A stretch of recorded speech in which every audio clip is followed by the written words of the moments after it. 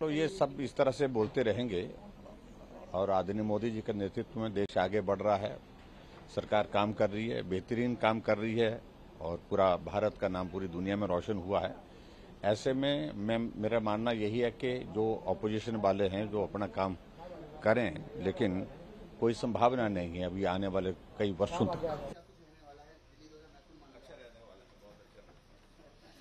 प्रधानमंत्री जी से भी समय मांगा है आपने?